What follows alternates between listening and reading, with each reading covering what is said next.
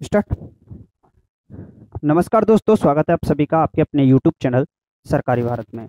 दोस्तों, जैसा कि आप सभी को पता है कि सीडीपी की क्लासेस आपके लिए स्टार्ट हो चुकी हैं। आज लगभग ये जो क्लास है, वो आपकी चौदहवीं क्लास होगी या पंद्रहवीं क्लास होगी। तो सीडीपी को हम करा रहे हैं प्रीवियस ईयर के क्वेश्चन पेपर्स से। अगर बात करें पेपर की तो सीडीपी का जो जुलाई सॉरी सीटेट का जो जुलाई का नोटिफिकेशन है, दो जारी हो चुका है, जिसके आपके फिल होना स्टार्ट हो गए तो आप अपना फॉर्म फिल कर दीजिएगा, जो भी सीटेट की तैयारी कर रहे हैं। ये जो पेपर है, ये है आपका चार दो 2023 का, साढ़े नौ बजे ये पेपर स्टार्ट हुआ था। जिस कैंडिडेट का है, किसी भी कैंडिडेट का हो, उससे आपको क्या लेना देना। बस ये पेपर है और इस पेपर में सीडीपी हम कराएँगे। बाकी और सब्जेक्ट के सॉल्यूशंस को भी आपको ला रहे हैं धीरे धीरे करा रहे हैं। मैथ्स की क्लास स्टार्ट हो गई न्यूमेरिकल की। मैथ्स पेडागोगी की क्लास आपके लिए स्टार्ट हो चुकी है। सीडीपी की क्लास स्टार्ट हो चुकी है।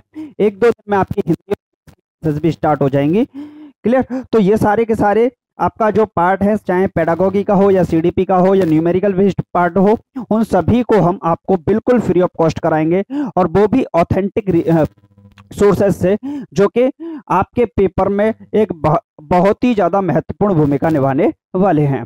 तो सीडीपी का सीटेट की खास बात है कि सीटेट के अंदर सीडीपी जो आती है, वो लगभग उसके कॉन्सेप्ट सेम है टॉपिक सेम है, वहीं से रिपीटेड आते हैं। और लैंग्वेज का थोड़ा बहुत डिफरेंस आपको क्वेश्चंस के अंदर देखने को मिलता है। बाकी तो सारा का सारा पैटर्न आपको देखने को मिलेगा। तो जो भी स्टूडेंट तैयारी कर रहे हैं किसकी सीटेट की तैयारी कर रहे हैं और अभी तक चैनल को सब्सक्राइब नहीं किया है तो चैनल को सब्सक्राइब कर लीजिएगा और बाकी आप लोगों की इच्छा है क्लास को लेते रहिएगा, इसका बेनिफिट लीजिएगा, ये सबसे बड़ी बात आप लोगों के लिए है। तो चलिए, स्टार्ट करते हैं। पहला क्वेश्चन आपकी स्क्रीन पर है। फ़र्स्ट क्वेश्चन आपकी स्क्रीन पर है। हिंदी और इंग्लिश में दोनों में कर देता हूँ, ताकि आप लोग इसको पढ़ पाए। क्लियर चलिए बताइए क्या होगा इसका आंसर? क्वेश्चन है, विकास के बारे में निम्न में से कौन सा कथन सही नहीं है? देखिए, आपसे नोट पूछा है, आपको सीडीपी के अंदर ये बात ध्यान रखनी है, कम से कम आपके चार से पाँच क्वेश्चन लगभग पाँच क्वेश्चन ऐसे होंगे जिसमें आपका नोट लगा होगा या आपसे जो नेगेटिव आंसर पूछा होगा। आप लोग पॉजिटिव अगर वहाँ पर लगाया जाए तो आपका आंसर गलत हो जाए। ये बहुत बड़ी मिस्टेक होती है स्टूडेंट्स के थ्रू ठीक तो आपको इस बात पर थोड़ा सा ध्यान देना पड़ेगा। ये आपके चार से पाँच घटाबड़ी यहीं पर हो सकती है। तो आपसे नोट पूछा है, विकास के बारे में कौन सा कथन सही नहीं है? देखिए, विकास के बारे में बोला जाता है विकास, जिसको हम बोलते हैं डेवलपमेंट। क्या बोलते हैं? डेवलपमेंट। और इसके बारे में बोला जाता है कि विकास बराबर होता है आनुवंशिकी और वातावरण का गुणनफल के बराबर होता है। किसके? आनुवंशिकी और वातावरण के गुणनफल के बराबर होता है डेवलपमेंट। तो डेवलपमेंट का फॉर्मूला आप लिख सकते हैं हियरडिटरी एंड एनवायरमेंट तो डेवलपमेंट के बारे में बताया जाता है कि डेवलपमेंट एक क्रमिक प्रोसेस है, क्रमिक प्रक्रिया है। ये लगातार चलने वाली प्रक्रिया है, सतत प्रक्रिया है। ठीक, और जो विकास होता है वो विभिन्न दरों पर होता है, ये भी है। विकास, आनुवंशिकी और के गुणनफल के बराबर होता है। ये जो फॉर्मूला दिया था, ये किसने दिया था? व्यवहारवादी बुडवर्थ साहब ने दिया था। बुडवर्थ ने दिया था। और ये कौन थे? व्यवहारिस्टिक थे। ये टेट वगैरह के एग्ज़ाम में पूछ लेता है, बुडवर्थ कौन थे? तो व्यवहारवादी थे। ठीक?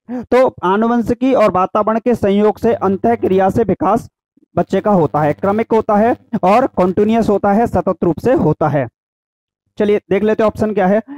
बच्चे विभिन्न दरों पर विकसित होते हैं। बात तो ठीक है। मैंने यही बोला, विभिन्न दरों पर होते हैं डिफरेंट डिफरेंट रेट्स पर बच्चे क्या होते हैं? विकसित होते हैं। बच्चे विकास अपेक्षाकृत क्रमिक होता है। ये भी बात मैंने अभी बोली थी क्रमिक होता है एक तरीके से रिलेटिवली ऑर्डरली होता है ये। क्लियर आनुवंशिकता विकास का एकमात्र कारण है। एकमात्र कारण नहीं है। विकास का एकमात्र नहीं है। विकास का जो दूसरा कारण है, वो आपका क्या है? वातावरण है। तो एकमात्र कारण हम आनुवंशिक को नहीं बोल सकते। दूसरा कारण जो होता है वो आपका वातावरण यानी कि एनवायरमेंट भी होता है। क्लियर अब आनुवंशिकी ही क्यों है? तो आपने देखा होगा माता पिता के जो जीन्स होते हैं वो बच्चे के अंतर्गत आ जाते हैं। इसका मतलब उनसे तालमेल बच्चा खाता है। कभी कभी तो देखने को मिलता है, चेहरा बिल्कुल बिल्कुल सेम टू सेम मिल जाता है। तो ये भी देखने को मिलता है। तो आनुवंशिकता का बहुत बड़ा महत्वपूर्ण भूमिका होती है जबकि वातावरण भी उसमें एक बहुत बड़ी महत्वपूर्ण भूमिका निभाता है। नेक्स्ट है विकास निरंतर रूप से चलता रहता है यानी कि ये जो डेवलपमेंट है वो ग्रेजुअली चलता है। धीरे धीरे चलने वाली प्रक्रिया है कॉन्टिन्यूस प्रोसेस है क्रमिक गति से चलने वाली है विभिन्न दरों पर चलने वाली ए, विभिन्न दरों पर चलता है। तो यही ऑप्शन सही हो जाएगा क्योंकि आपसे पूछा था कौन सा कथन सही नहीं है। तो सही कौन सा नहीं है? आनुवंशिकता विकास का एकमात्र कारण है जो कि गलत हो जाएगा। गलत है, इसी वजह से सही है, क्योंकि आपसे गलत ही पूछा था। क्लियर भाई? चलिए नेक्स्ट क्वेश्चन अब इस प्रकार के क्वेश्चन पूछे जाते हैं। ये क्वेश्चन पूछा गया, बताइए।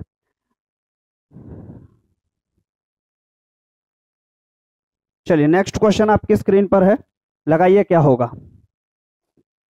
मानवीय क्षमताएँ, जैसे कि बुद्धि हुई, समस्या समाधान, यानी कि प्रॉब्लम सॉल्विंग हुई, समालोचनात्मक थिंकिंग हुई, का सापेक्ष रूप से विकास के किस क्षेत्र के अंतर्गत अध्ययन किया जाता है।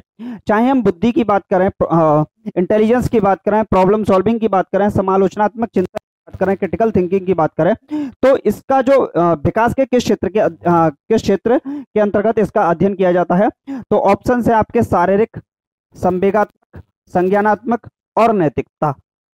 बताइए क्या होगा? शारीरिक की बात करें, देखिए, विकास जो होता है ब्लूम्स टेक्सोनॉमी के अनुसार बताएँ ब्लूम्स ब्लूम्स टेक्सोनॉमी ब्लूम्स की टेक्सोनॉमी दी थी और इन्होंने तीन एस्पेक्ट बताए थे। ब्लूम का जो वर्गीकरण था, इसमें तीन एस्पेक्ट बताए थे और तीन एस्पेक्ट बताए थे फिजिकली कॉग्निटिवली और इमोशनली तो जो विकास होता है बच्चे का वो क्या होता है? फिजिकली होता है, शारीरिक गतिक विकास होता है कॉग्निटिव होता है, संज्ञानात्मक विकास होता है और ज्ञानात्मक विकास भी इसको बोल सकते हैं और तीसरा होता है इमोशनल होता है, जैसे भावात्मक विकास बोल सकते हैं। तो जो विकास होता है, क्षेत्रों में ब्लूम्स की टेक्सोनॉमी के अनुसार देखने को आपको मिलता है। तो शारीरिक विकास का देखने को आपको मिलता है संवेगात्मक भी देखने को मिलता है इमोशनल संज्ञानात्मक कॉग्नेटिव भी देखने को मिलता है और नैतिक यानी कि नैतिकता भी देखने को मिलती है। नैतिकता के बारे में बात की थी किसने? नैतिकता का सिद्धांत दिया था कोहल वर्ग ने। सार्वभौमिक नैतिक विकास का सिद्धांत दिया था किसने? कोलबर्ग ने। तो देखिए यहाँ पर अगर बुद्धि की बात की जाए इंटेलिजेंस की बात की जाए जहाँ पर तर्क करने की बात की जाए एनोलॉजी की बात की जाए रणनीतियों की बात की जाए प्रॉब्लम सॉल्विंग समस्याओं का समाधान करने की बात की जाए समालोचनात्मक चिंता की बात की जाए बात बच्चा चिंतन कर सके आ, कोई भी ऐसी प्रॉब्लम हो जिस पर बच्चा खुद चिंतन कर सके खुद का विचार रख सके तो ऐसी जो अवस्थाएँ होंगी उसमें सिर्फ़ एक ही काम आएगा संज्ञानात्मक। और संज्ञानात्मक का मतलब भी होता है किसी चीज़ के बारे में जानना। किसी के बारे में जानना, ऐसे बोल दो। बारे में जानना। तो किसी के बारे में होता है संज्ञानात्मक, जहाँ बच्चा संज्ञान का, अपने कॉग्निशन का यूज़ करे अपने संज्ञान का, अपनी बुद्धि का प्रयोग करे प्रॉब्लम्स को करने में अपना चिंतन करे, वहाँ कौन सा होगा? संज्ञानात्मक विकास होगा, जो कि आपका ऑप्शन नंबर थर्ड इस सवाल का बिल्कुल सही हो जाएगा। क्लियर है? नेक्स्ट क्वेश्चन आपकी स्क्रीन पर है। चलिए। नेक्स्ट क्वेश्चन आ गया है। नेक्स्ट क्वेश्चन का आंसर बताइएगा, क्या होगा? क्वेश्चन आपके सामने है। स्टेटमेंट भी आपको दिखेगा यहाँ पर। स्टेटमेंट यानी कि अभिकथन। और दूसरा है, कारण यानी कि रीजन तो स्टेटमेंट को भी देखना है रीजन को भी देखना है और इसके अनुसार आपका आंसर क्या होगा, ये भी चेक करना है। क्लियर है? तो स्टेटमेंट देखते हैं। बच्चे केवल केवल आ जाए तो आपके आंसर को 99 परसेंट तो गलत कर ही देता है।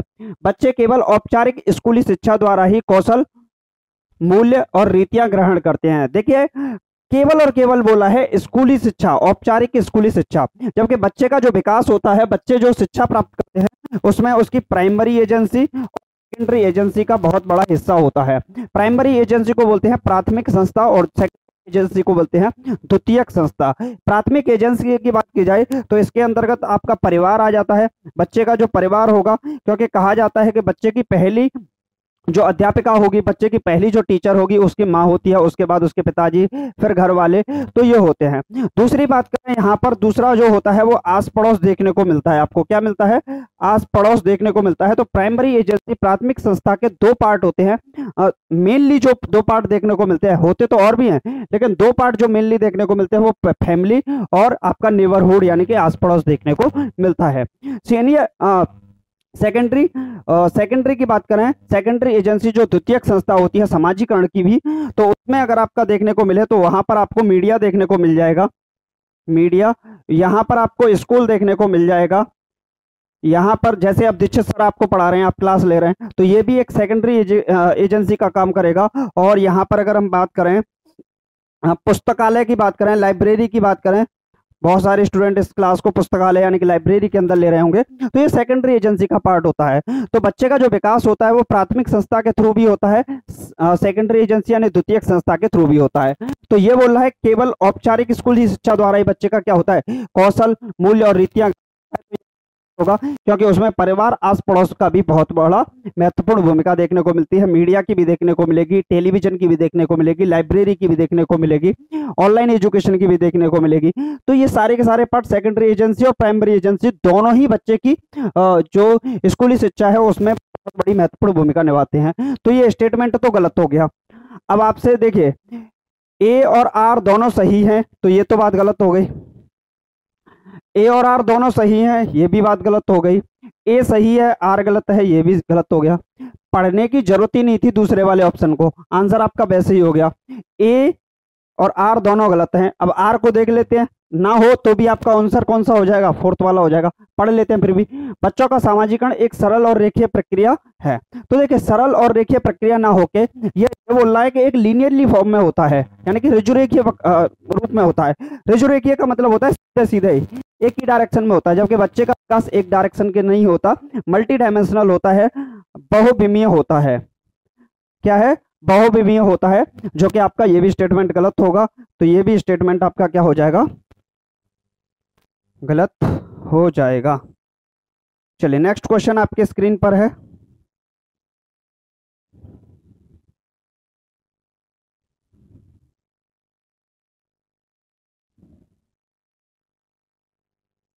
चलिए इंग्लिश में थोड़ा सा आपको देखने को मिल जाएगा यहाँ पर।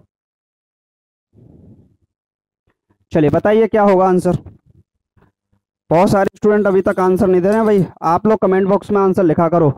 आंसर नहीं लिखोगे, आपका घाटा होगा, ये आपके ऊपर डिपेंड करता है। चलिए, क्वेश्चन है as per Jean Piaget's individual individuals continually keep searching for a solution to achieve a state of. बाकी क्वेश्चन को हिंदी में पढ़ लेते हैं एक बार। जीन प्याजे के अनुसार तो जीन प्याजे ने किसका सिद्धांत दिया था? संज्ञानात्मक विकास का सिद्धांत दिया था। चलिए मैं लिख देता हूँ, किसका संज्ञानात्मक विकास का सिद्धांत दिया था? संज्ञान लोग समझ जाइएगा। कॉग्नेटिव डेवलपमेंट का यहाँ पर इन्होंने सिद्धांत दिया था। इन्होंने बोला कि व्यक्ति किस अवस्था को प्राप्त करने के लिए समस्या समाधान समाधान की निरंतर खोज करने में लगा रहता है। ये है भाई साहब, बहुत ज़बरदस्त सवाल। जीन प्याजे की बात कर लेते हैं थोड़ी सी। तो इन्होंने एक पुस्तक लिखी थी, the language of the thought of the child ये इनकी पुस्तक है और ये जो पुस्तक लिखी थी 1923 में लिखी थी the language of the thought of the child ये पुस्तक इनके इनके द्वारा लिखी गई थी। इनकी बात करें तो इन्होंने खोज व निर्माण का सिद्धांत दिया था। ये भी क्वेश्चन आपसे पूछ लेता है। टेट वगैरह के एग्ज़ाम में बहुत पूछता है, खोज व निर्माण का सिद्धांत किसने दिया था? खोज व निर्माण का सिद्धांत भी जीन प्याजे के द्वारा दिया गया था। इनकी बात करें तो ये कौन थे? मनोवैज्ञानिक थे।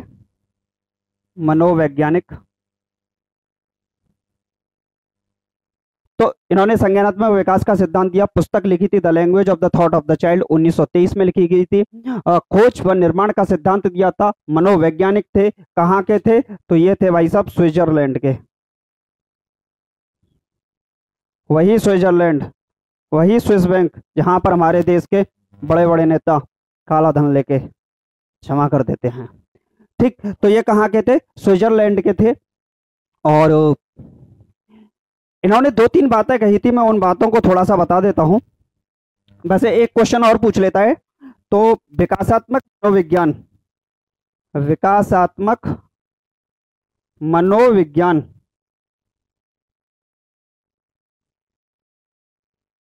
का इनको जनक कहा जाता है? यह भी क्वेश्चन आपसे पूछ लेता है। विकासात्मक मनोविज्ञान का जनक कौन है? तो जीन प्याजे साहब है। इन्होंने एक बात कही थी एक बात कही थी, आत्मसातीकरण आत्म सातकरण और एकोमोडेशन यानी कि समायोजन के बारे में। कि आत्मसातकरण का मतलब क्या होता है?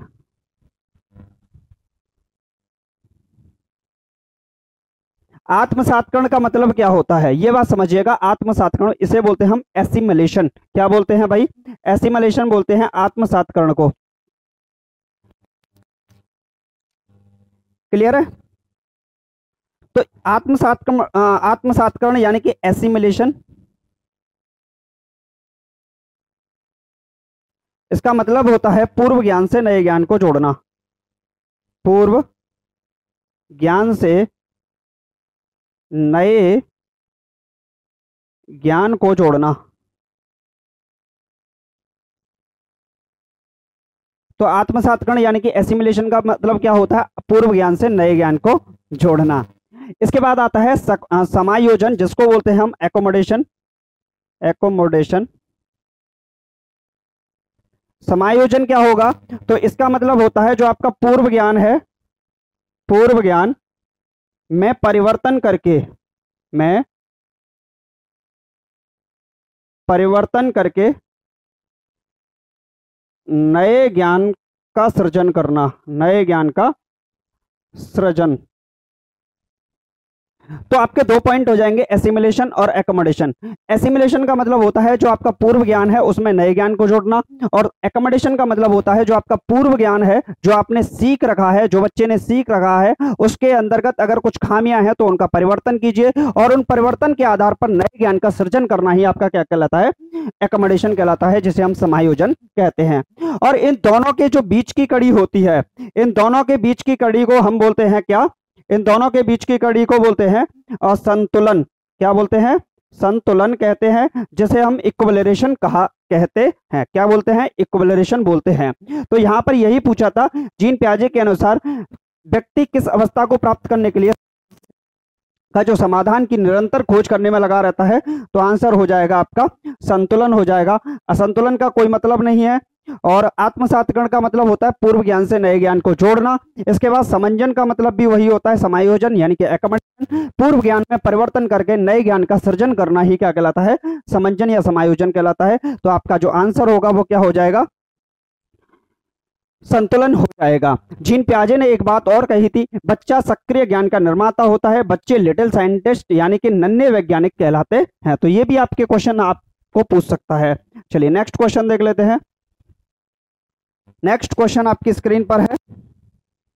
ये वाला क्वेश्चन काफ़ी अच्छा है और बहुत ही ज़्यादा ज़बरदस्त सवाल है भाई। इसका आंसर लगाइए आप लोग। और ये क्वेश्चन ये मान लीजिए कि हर एग्जामिनेशन में आपसे पूछा जाता है। क्वेश्चन है, परिकल्पनात्मक निगमनात्मक तर्क किस चरण की विशिष्ट विशेषता है? देखिए, परिकल्पनात्मक निगमनात्मक तर्क हाइपोथेटिकली डिडक्शन एनालॉजी जो होती है आपकी, वो क्या है? आपकी जीन प्याजे के थ्रू ही दी गई थी। चलिए इसके बारे में थोड़ी सी बात कर लेते हैं। तो ये किसने दिया था? जीन प्याजे ने दिया था। मैं वही बात फिर से रिपीट कर देता हूँ। जीन प्याजे के द्वारा इसकी बात की गई थी। क्लियर? इसके बाद बात करें तो जीन प्याजे साहब ने संज्ञानात्मक विकास का सिद्धांत दिया था। इस संज्ञानात्मक विकास के सिद्धांत के थ्रू इन्होंने चार चरणों की बात की थी। पहला चरण था, जिसे हम बोलते हैं संवेदी गत्यात्मक चरण। इसको बोलते हैं सेंसरी मोटर स्टेज। ये जो है संवेदी गत्यात्मक चरण सेंसरी मोटर स्टेज इसका दूसरा नाम है इंद्रिय गामक अवस्था। तो ये आपसे पूछ सकता है, इसकी जो उम्र सीमा होती है वो ज़ीरो से दो वर्ष तक का जो बालक होता है, बच्चा होता है, उसे इस श्रेणी में रखा गया है सेंसरी मोटर स्टेज में। इसके बाद बात आती है पूर्व संक्रियात्मक अवस्था की तो ये होता है दो से सात वर्ष का जो बच्चा होता है, उसे हम बोलते हैं पूर्व संक्रियात्मक अवस्था के चरण में प्रवेश कर चुका है। इसके बाद बात करते हैं मूर्त संक्रियात्मक अवस्था जो ग्यारह वर्ष का बच्चा होता है वो मुक्त संक्रियात्मक अवस्था के अंतर्गत आ जाता है और इसके बाद जो अंतिम चरण होता है, वो होता है औपचारिक संक्रियात्मक अवस्था, जिसे हम अमूर्त संक्रियात्मक अवस्था के नाम से भी जानते हैं। ये होती है आपकी 11 से 16 वर्ष की जो अवस्था होती है, जिसे हम अमूर्त संक्रियात्मक अवस्था के नाम से जानते हैं। तो चार चरण होते हैं। फ़र्स्ट स्टेज होगी सेंसरी मोटर स्टेज, जिसे ज़ीरो से दो वर्ष की अवस्था कहा जाता है। दूसरी है पूर्व संक्रियात्मक अवस्था, जिसे हम दो से सात वर्ष की अवस्था, मूर्त संक्रियात्मक अवस्था, जिसे कंक्रीट ऑपरेशनल स्टेज कहते हैं। और सात से ग्यारह वर्ष की अवस्था, औपचारिक संक्रियात्मक अवस्था जो होती है, उसे हम ग्यारह से सोलह वर्ष की अवस्था में रखते हैं। अब यहाँ पर आपसे क्वेश्चन पूछेगा और किस तरीके से पूछेगा, वो समझ लो। यहाँ पर अगर बात की गई है, परिकल्पनात्मक, निगमनात्मक तर्क। बच्चा दस साल तक का बच्चा तो तर्क कहाँ कर पाएगा? इतना ज़्यादा तर्क नहीं कर सकता दस साल तक का बच्चा। वो भी हाइपोथेटिकली एब्स्ट्रक्टेड आइडियाज़ भावों के अंदर भी अगर तर्क कर पा रहा है, कल्पनाएँ बच्चा कर पा रहा है तो इसका मतलब ये है कि उसकी जो उम्र सीमा होगी वो औपचारिक संक्रियात्मक अवस्था की होगी। तो यही इस आंसर क्वेश्चन का आंसर हो जाएगा कि परिकल्पनात्मक, निगमनात्मक जो तर्क है, किस चरण के अंतर्गत आएगा? तो वो आपका औपचारिक संक्रियात्मक अवस्था या अमूर्त संक्रियात्मक अवस्था के अंतर्गत आएगा। और किस वर्ष का बच्चा होगा? 11 से 16 वर्ष का बच्चा होगा। आपसे ऑप्शन के अंतर्गत इसको भी दे सकता था। मूर्त संक्रियात्मक अवस्था की बात करें तो यहाँ पर बच्चे के अंतर्गत संरक्षण की भावना पैदा हो जाती है। आपने छोटे छोटे बच्चे देखे होंगे। छोटे छोटे बच्चे देखे होंगे और वो छो, छोटे छोटे बच्चे होंगे वहाँ पर आपने देखा होगा मान लीजिए कि ये कोई गिलास और एक थोड़ा सा ऐसा गिलास है। इस गिलास में भी मान लीजिए आधा लीटर पानी है और इस गिलास के अंदर भी आधा लीटर पानी है। लेकिन जो बड़ा गिलास है, लंबा गिलास है, उसमें पानी की मात्रा आपको ज़्यादा देखने को मिलेगी। देखने में क्या होगा? ठीक तो अगर आप बच्चे से बोलोगे कि आप इसको लोगे या इसको लोगे इसको लोगे या इसको लोगे तो बच्चा यही बोलेगा, मैं तो इसको लूँगा क्योंकि इसमें ज़्यादा है। जबकि दोनों के अंदर क्या है? बराबर है। बच्चे को वॉल्यूम का कॉन्सेप्ट यहाँ पर नहीं पता होता है इतना ज़्यादा। तो ये जो भावना होती है, इसी को बोलते हैं संरक्षण की भावना। और सात से ग्यारह वर्ष की अवस्था में बच्चे के अंदर कंजर्वेशन की भावना आ जाती है, संरक्षण उसके अंतर्गत आ जाता है। क्लियर संवेदिकात्मक अवस्था की बात करें तो बच्चा अपने सेंसेस से यहाँ पर चीज़ों को सीखता है। जैसे आईज आई के थ्रू ईयर के थ्रू फिंगर्स के थ्रू यहाँ पर इनका यूज़ करता है, अपने सेंसेस का यूज़ यहाँ पर बच्चा करता है। क्लियर तो ये भी क्वेश्चन आपसे पूछ सकता है तो सेकंड वाला आपका सही हो जाएगा ऑप्शन चलिए नेक्स्ट क्वेश्चन जादुई सवाल. बता दो मेरे यार, क्या होगा? उत्तर.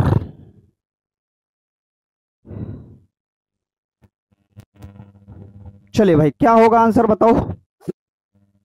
ये जीन प्याजे साहब आज खा जाएँगे, मुझे ऐसा लग रहा है। पेपर में भर भर के दिए हैं। किसने दिए भाई ये? देने वाले ने दिए हैं। सीटेट की खास बात यह है कि जीन प्याजे बाइगोस की कोलवर्क।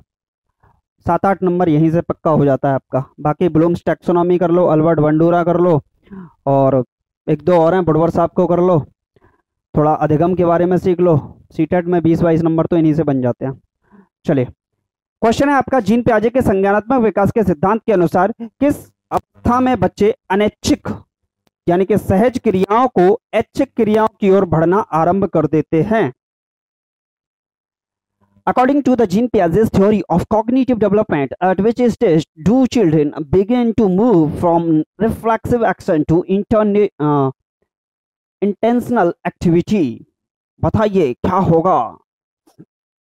तो देखिए, संवेदिक अत्यात्मक अवस्था ज़ीरो से दो वर्ष की अवस्था होती है, पूर्व संख्यात्मक अवस्था होती है आपकी दो से सात वर्ष की अवस्था होती है, मूर्त संक्रियात्मक अवस्था होती है आपकी सात से ग्यारह वर्ष की अवस्था होती है, औपचारिक संक्रियात्मक अवस्था आपकी ग्यारह से सोलह वर्ष की अवस्था होती है।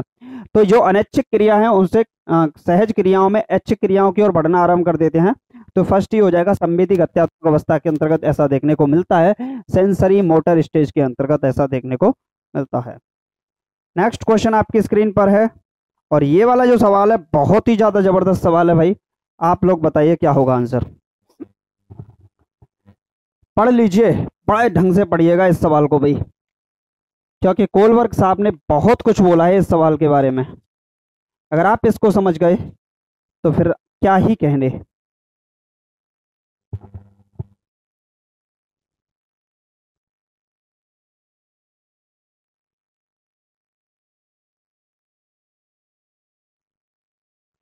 चलिए भाई। क्वेश्चन है हिंज की दुविधा। हिंज की डायलमा हिंज डायलमा हिंज दुविधा को सुनने के बाद आठ वर्षीय गुरप्रीत कहता है कि हिंज को पैसा चुरा लेना चाहिए। अब आपको हिंज की कहानी पता होनी चाहिए, क्योंकि उसे इसकी ज़रूरत है। नैतिक तर्क के किस स्तर पर बच्चे सही और गलत का फैसला व्यक्तिगत जरूरतों की चाहतों के आधार पर करते हैं। ये वाली बात किसने कही थी? ये जो भी बोला है तो ये बोला है आपका कोलवर्ग ने। कोहलवर्ग। किसने बोला है? कोलवर्ग साहब ने बोला है। और कोलवर्ग की बात करें तो ये एक मनोवैज्ञानिक थे और कहाँ के थे? अमेरिका के थे। ये भी आपसे क्वेश्चन पूछ सकता है कि कोलवर्ग कहाँ के थे? तो कोलवर्ग थे अमेरिका के। क्लियर है भाई? कहाँ के थे? अमेरिका के। अब हिंज की कहानी को सुन लो। हिंज की कहानी थी क्या दरअसल? ऐसा होता है कि हिंज कोई लड़का होता है, लड़का ही समझ लो तो हिंज लड़का होता है, उसकी माताजी हो जाती हैं बीमार। अब जब माताजी बीमार हो जाती हैं तो उसको किसकी ज़रूरत पड़ेगी? दवाइयों की ज़रूरत पड़ेगी, औषधि की ज़रूरत पड़ेगी। तो हिंज उसके पड़ोस का ही व्यक्ति बता देता है कि एक वैद्य है, उनके पास वो दवाई है, जिससे आपकी माता सही हो जाएँगे। हिंज साहब जाते हैं, वैद्य जी के पास पहुँचते हैं और वैद्य जी से बोलते हैं कि आप दीजिए, औषधि दे दीजिए, जिससे मेरी माता जी की जो स्वास्थ्य है वो बिल्कुल सही हो जाए। सॉरी जो वैद्य होते हैं, वो कहते हैं कि ये वाली जो दवाई है, मैंने अपने पूरे जीवन काल का, पूरा का पूरा पैसा लगा दिया मैंने इस पर। और मैंने पूरी की पूरी जो मेरी खोज थी, जो मेरा एक्सपीरियंस था, जो मेरा अनुभव था, वो मैंने सब कुछ इसमें लगा दिया। अब कंडीशन फंस जाती है कि वो जो वैद्य होते हैं, वो हिंज से मना कर देते हैं कि मैं आपको दवाई या औषधि नहीं दे सकता। अब हिंज के सामने दो प्रकार की कंडीशन उत्पन्न होती है। पहली कंडीशन ये होती है, चाहे तो वो पैसा इकट्ठा करे तो पैसा उसके पास था नहीं, उसके पास जो भी कंडीशन थी, वो उसने देख ली। मतलब पैसा उसने जितना भी इकट्ठा था, उसने बता दिया, मेरे पास इतना पैसा है, लेकिन वैद्य फिर भी मना कर देता है। तो उसके पास दो कंडीशन बचती हैं। एक तो बचती है कि वो अपनी माता जी का दवाई ना ला के दे, औषधि ना ला के दे, तबीयत अगर खराब है तो वो मर जाएँगी। क्लियर और दूसरी है कि वो चोरी कर ले। अब दोनों में से क्या करेगा? अगर चोरी करता है तो उसे जेल जाना पड़ेगा। और चोरी नहीं करता है तो माता जी का जो स्वास्थ्य है वो और ज़्यादा खराब हो जाएगा। तो ऐसी स्थिति बन जाती है और इसी को बोलते हैं हिंच डायलेमा, यानी कि हिंच की दुविधा। यही है हिंच की दुविधा। अब कोलवर्क साहब ने इस, अब ये दुविधा तो पैदा हो गई। कोलवर्क साहब ने बोला कि तीन स्टेजों में इन्होंने बात की है, तीन स्टेजों की बात की है, और एक की है रूढ़गत रूढ़गत परंपरागत स्तर। परंपरागत स्तर की बात की है। दूसरा की है, इसको बोल सकते हो आप प्राक रूढ़गत। इसको बोलेंगे रूढ़गत। परंपरागत और इसे बोलते हैं उत्तर रूढ़गत। परंपरागत। तो तीन प्रकार के स्तर बताए। कितने स्तर बताए? कोलवर्ग ने तीन स्तर बताए। प्राक रूढ़गत प्री कन्वेंशनल स्टेज, रूढ़गत, कन्वेंशनल स्टेज और उत्तर रूढ़िगत, जिसे बोलते हैं पोस्ट कन्वेंशनल स्टेज जो रूढ़िगत स्तर होता है, जो रूढ़िगत होता है, जिसे हम प्राक रूढ़िगत बोलते हैं, ये चार से दस वर्ष की अवस्था के अंतर्गत होता है। ठीक? और ये जो रूढ़िगत होता है कन्वेंशनल होता है, ये दस से तेरह वर्ष की अवस्था में देखने को मिलता है। और तेरह वर्ष से जो ऊपर होता है, तेरह वर्ष से ऊपर जो होगा, वो आपका उत्तर रूढ़िगत, यानी कि पोस्ट कन्वेंशनल स्टेज के अंतर्गत आएगा। तीन स्टेज दी, इन तीन स्टेज के दो दो पार्ट बता दिए इन्होंने। एक, दो एक दो एक, दो। तो दो दो पार्ट बताए तो कुल मिलाकर कितने चरणों की बात की इन्होंने? छह चरणों की बात। मैं छह चरणों के बारे में तो आपको नहीं बता सकता, क्योंकि फिर मुझे पूरा का पूरा कोल वर्ग पढ़ाना पड़ेगा। उसके लिए आपको क्या करना पड़ेगा? उसको सिर्फ़ कुछ नहीं करना।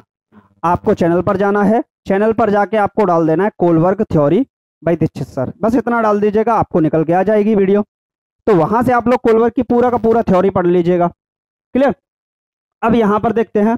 तो इस दुविधा में नैतिक तर्क के किस स्तर पर बच्चे सही या गलत का फैसला व्यक्तिगत जरूरतों और चाहतों के आधार पर करते हैं तो ये होती है आपकी यांत्रिक सापेक्षिक अभिमुखता। क्या होती है?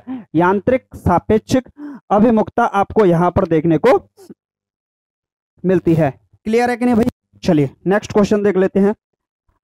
बाकी आप कोलवर को एक बार पढ़ लीजिएगा। वीडियो देखकर वहाँ से आपको क्लियर हो जाएगा।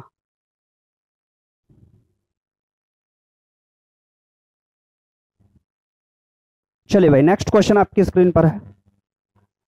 लगाइए लाडले।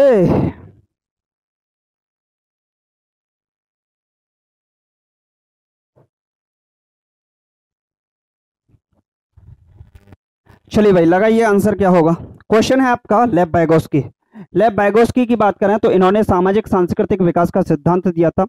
सामाजिक, सांस्कृतिक पृष्ठभूमि की बात की थी सोशियो कल्चर की बात की थी इन्होंने तो लेब बैगोस्की के सिद्धांत को किस तरह का सिद्धांत माना गया है? कैसा सिद्धांत माना गया है? मनोविश्लेषणात्मक नहीं माना गया है। व्यवहारवादी बुड़वर्थ साहब थे। सूचना प्रसंस्करण कोई मतलब ही नहीं है और आपका एक ही है सामाजिक, सांस्कृतिक विकास का सिद्धांत। जो मैंने बोल दिया, वही आपको देखने को मिल गया। सीटेट वालों से बोलो कि दीक्षित सर के द्वारा जो बोले गए शब्द हैं, कम से कम उनमें डिफरेंस अब करने लग जाए। क्योंकि जो भी मैं बोलता हूँ, वही आंसर देखने को मिलता है। तो थोड़ा बहुत डिफरेंस भाई, देखने को मिलेगा आपको।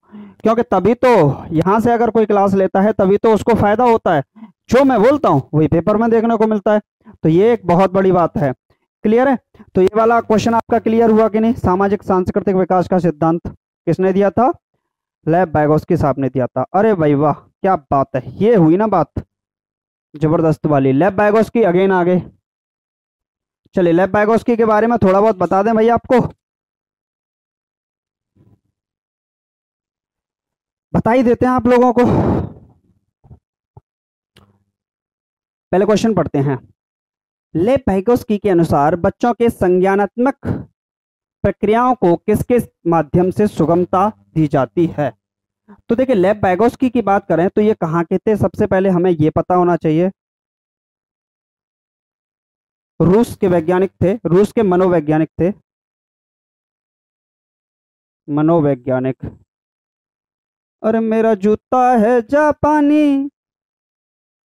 ऐसे बोलते हैं भाई, सर पर लाल टोपी रूसी, फिर भी दिल है हिंदुस्तानी।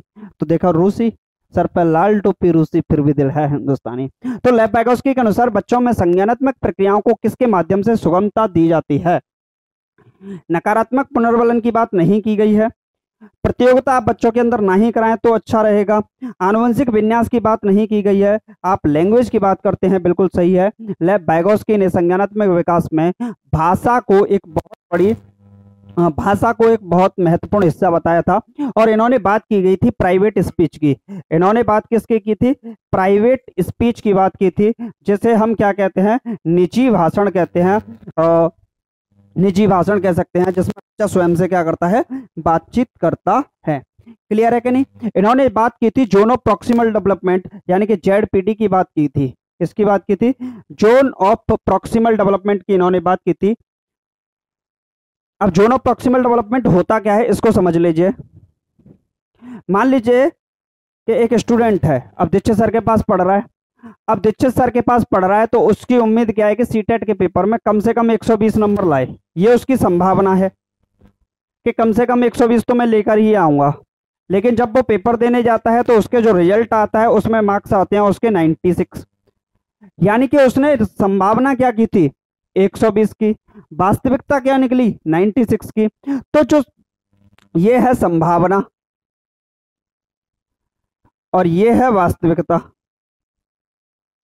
वास्तविकता। तो संभावना और वास्तविकता। संभावना और वास्तविकता के बीच का जो डिफरेंस होता है, उसी को बोलते हैं जोन ऑफ़ प्रॉक्सिमल डेवलपमेंट जो अंतर होता है, उसी को बोलते हैं समीपस्थ विकास का क्षेत्र कहते हैं। क्लियर है कि नहीं भाई? ये वाली बात समझ में आ गई कि नहीं आप लोगों के? इनकी जो उम्र सीमा थी, वो लगभग 38 साल की उम्र में ही ये निपट गए थे भाई साहब। मतलब इनका निधन हो गया था। कुल मिलाकर जो उम्र थी इनकी 38 साल की यहाँ पर उम्र देखने को मिली थी। एम का सिद्धांत दिया था more knowledge knowledgeable other M का सिद्धांत इनके द्वारा दिया गया था। चलिए next question question number ten आपकी स्क्रीन पर है।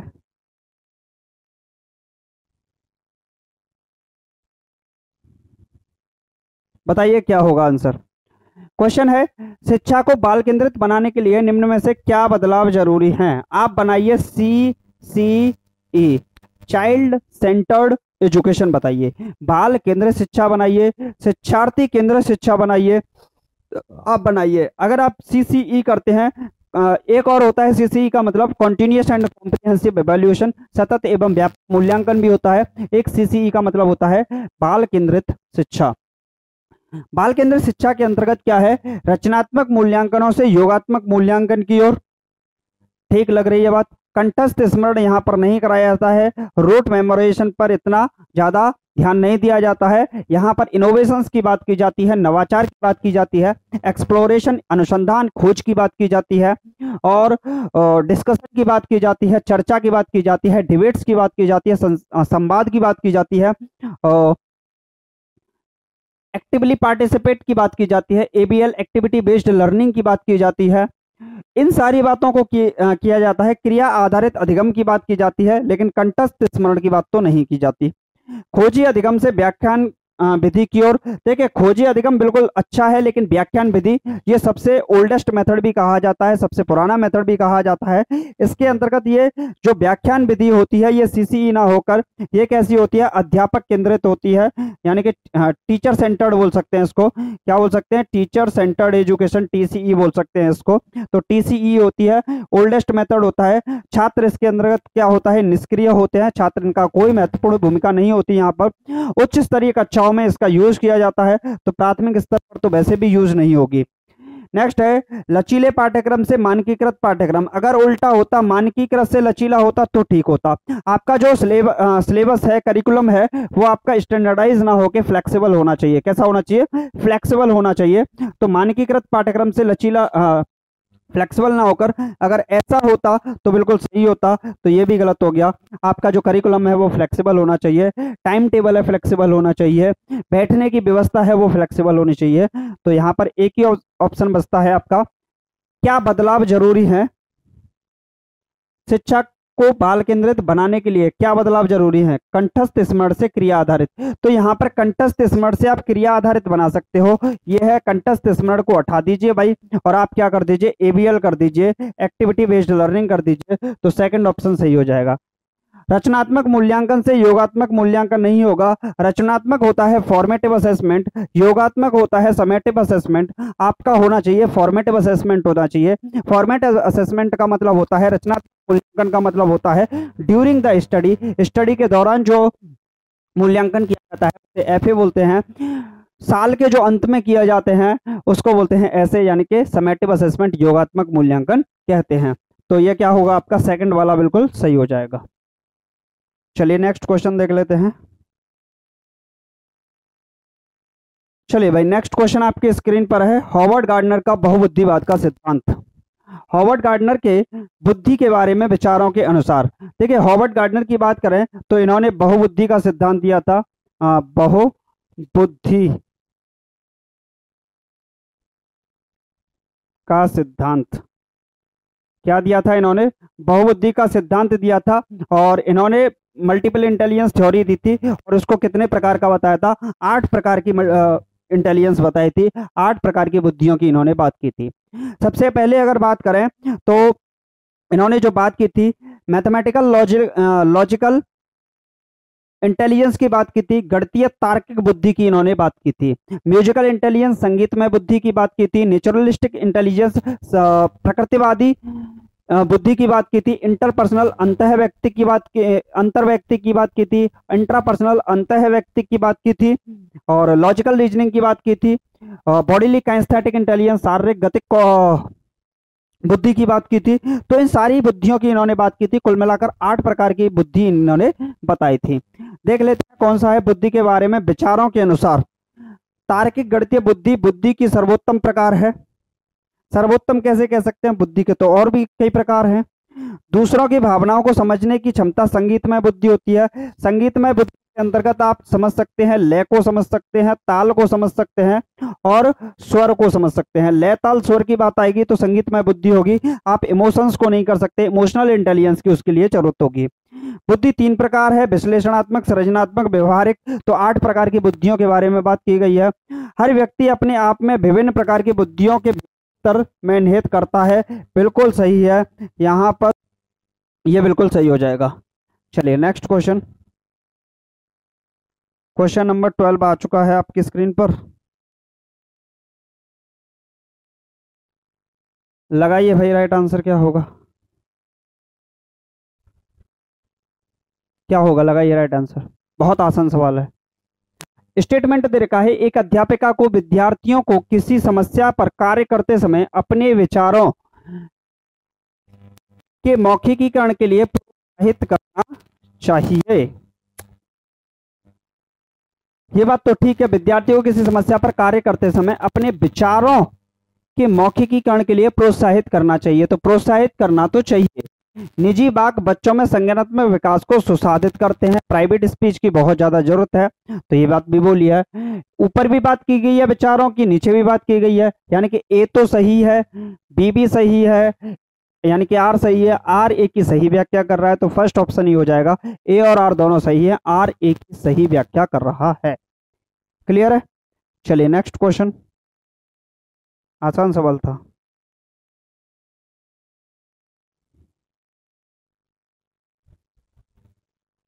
चलिए भाई। कौन सा होगा सही जवाब बताइए। हेलो।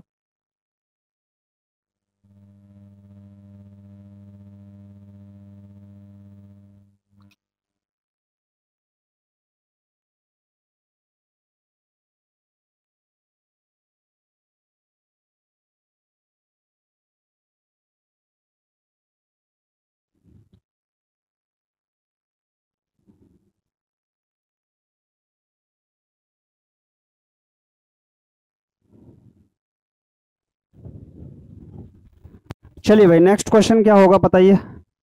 एक अध्यापिका प्रचलित सामाजिक जेंडर संबंधी रूढ़ताओं को कैसे भावहीन बना सकती है?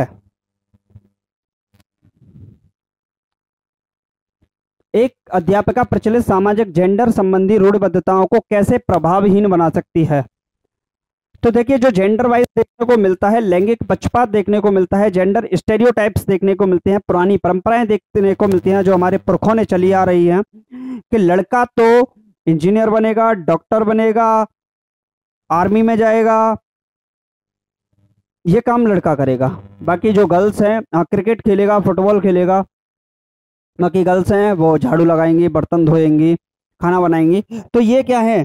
घर से बाहर नहीं निकलेंगी, घूंघट में ही रहेंगी। तो ये क्या है, हमारे स्टेरियोटाइप्स हैं, रूढ़िगत परंपराएँ हैं, जो कि चली आ रही है जेंडर वाइज देखने को मिलता है, लैंगिक पक्षपात देखने को मिलता है। तो इसको कैसे प्रभावीन करेगी टीचर अपनी क्लासरूम के अंदर, कम से कम? तो देखिए, यह सुनिश्चित करके कि खेल सत्र में लड़कियों, लड़कियाँ सिर्फ़ बैडमिंटन खेलें और लड़के सिर्फ़ तो इस, यहाँ तो जेंडर देखने को मिलता है। अगर आप लड़कियों को बैडमिंटन क्रिकेट दोनों खिलाते, लड़कों को भी दोनों खिलाते तो यहाँ पर देखने को नहीं मिलता। तो यहाँ तो प्रभावी नहीं हो रहा है, जबकि प्रभावी हो रहा है यहाँ तो। यह सुनिश्चित करके लड़कियों को अध्यापक के रजिस्टर पर काम करने और उनकी मदद करने के लिए अवसर मिले। मतलब क्या जो लड़कियाँ हैं, वो अध्यापकों की सहायता के लिए हैं? क्या टीचर्स की असिस्टेंट हैं? असिस्टेंट तो और भी मिलते हैं क्लर्क की नौकरी फिर क्यों मिलती? फिर तो लड़कियों को बैठाल देते। तो यहाँ स्टेरियोटाइप देखने को मिल रहा है। फर्नीचर इधर से उधर रखवाने के लिए केवल लड़कियों की सहायता, केवल लड़कियों की क्यों? लड़कों की भी सहायता लो। सभी जेंडरों को संगीत, नृत्य, पाक कलन प्रतियोगिताओं में भाग लेने के लिए कहना, चाहे लड़का हो या लड़की हो, कोई फ़र्क नहीं पड़ता है। उन्हें संगीत भी सिखाइए, नृत्य भी सिखाइए, पाक कला भी सिखाइए। क्रिकेट भी खिलाइए, बैडमिंटन भी खिलाइए, फुटबॉल भी खिलाइए, वॉलीबॉल भी खिलाइए एथलीट भी बनाइए, रनिंग भी कराइए, सब कुछ यहाँ जो काम लड़का करेगा वही काम लड़कियाँ भी कर सकती हैं, आर्मी भी ज्वाइन कर सकती हैं, सब कुछ कर सकती हैं। तो यहाँ पर स्टेरियोटाइप्स को हम क्या करते हैं, एक तरीके से खत्म करते हैं, खत्म करने की बात कर रहे हैं। क्लियर है कि नहीं भाई? चलिए नेक्स्ट क्वेश्चन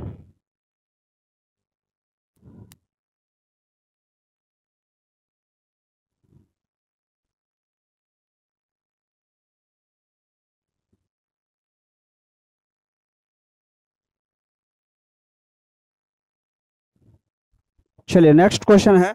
विद्यार्थियों में समालोचनात्मक चिंतन को बढ़ावा देने के लिए महत्वपूर्ण है कि निम्नलिखित हेतु प्रचुर अवसर प्रदान किए जाएँ।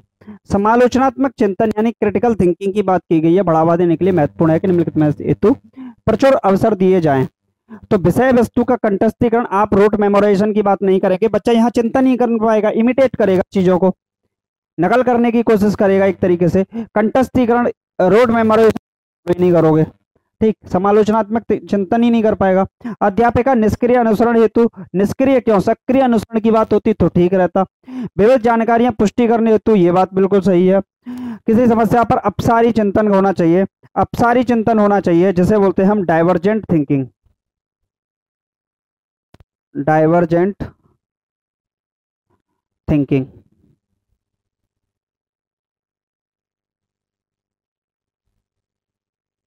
क्या होगा? डाइवर्जेंट थिंकिंग देखने को मिलेगा, अपसारी चिंतन आपको देखने को मिलेगा। एक होता है अभिसारी चिंतन, जिसे हम कन्वर्जेंट थिंकिंग बोलते हैं, जो कि आपका गलत होता। तो थर्ड और फोर्थ सही है, जो कि ऑप्शन नंबर किसमें दे रखे हैं? फोर्थ वाले में दे रखे हैं। थर्ड और फोर्थ बिल्कुल सही होंगे इस सवाल के आंसर क्लियर है भाई?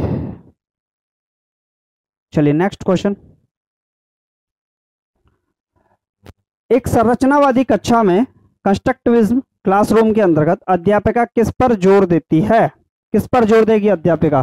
रचनात्मक मूल्यांकन, मानकीकृत मूल्यांकन, मानक संदर्भित मूल्यांकन या योगात्मक मूल्यांकन? रचनात्मक मूल्यांकन की बात करें तो फॉर्मेटिव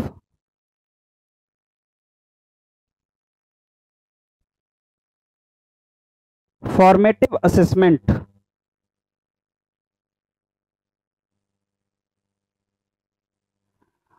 योगात्मक मूल्यांकन की बात करें तो ये होगा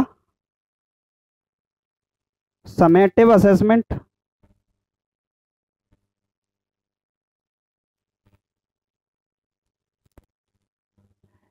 स्टैंडर्डाइज होगा ये। तो स्टैंडर्डाइज आपका मूल्यांकन नहीं होना चाहिए फ्लेक्सिबल होना चाहिए, मानक संदर्भित नहीं होना चाहिए, योगात्मक नहीं होना चाहिए समेटिव नहीं होना चाहिए। समेटिव होता है टर्म एंड एग्ज़ाम्स जो होते हैं। टर्म एंड एग्ज़ाम्स जो होते हैं। फॉर्मेटिव असेसमेंट होता है। इसके अंदर बात की जाती है फॉर्मेटिव के अंदर during the study during the study जो भी आपका होता है, वो क्या होता है? फॉर्मेटिव असेसमेंट होता है।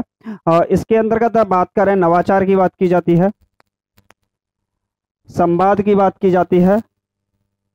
खोज की बात की जाती है, कल्पना की बात की जाती है तो ये सारे के सारे किसके अंतर्गत आ जाते हैं? फॉर्मेटिव असेसमेंट के अंतर्गत आ जाते हैं। तो एक ही आंसर सही होगा, रचनात्मक मूल्यांकन संरचनावादी क्लासरूम के अंदर देखने को आपको मिलता है। क्लियर है? तो ये भी आंसर सही हो गया होगा आपका। चलिए नेक्स्ट क्वेश्चन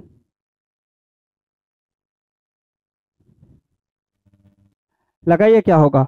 समावेशी शिक्षा इंक्लूसिव क्लासरूम के अंतर्गत विविध जरियों का निष्कासन पर बल देती है।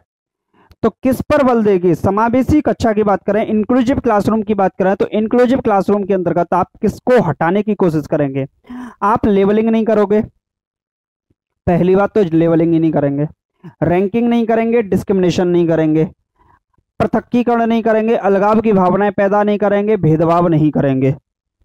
इसके बाद बात करें तो जेंडर स्टेरियोटाइप्स जो देखने को मिलते हैं, उनकी बात नहीं करेंगे। जेंडर लैंगिक पक्षपात की बात यहाँ पर आप नहीं करेंगे। तो प्रस्तुतिकरण की बात है रिप्रेजेंटेशन आप कर सकते हैं, अभिव्यक्ति कर सकते हैं, संलग्नता होनी चाहिए, भेदभाव नहीं होना चाहिए समावेशी कक्षा के अंतर्गत। भेदभाव कतई आंसर नहीं हो सकता आपका। चलिए नेक्स्ट क्वेश्चन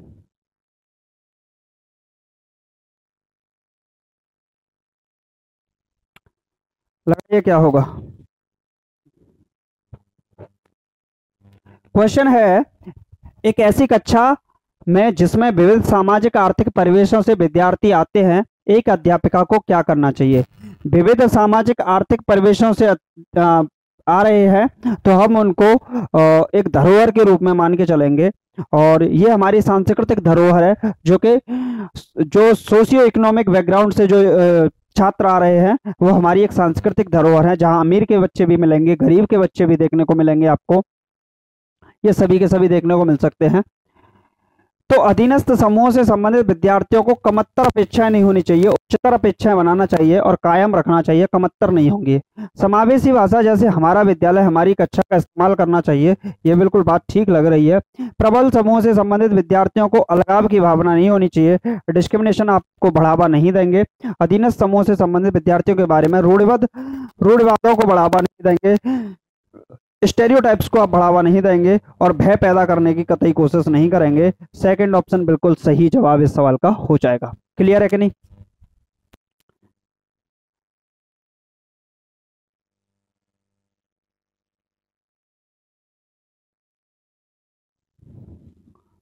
समझ में आ रहा है कि नहीं आप लोगों को?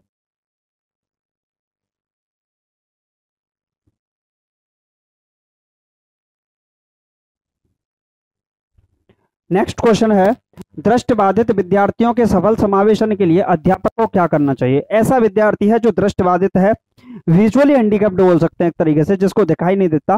तो आप उसके लिए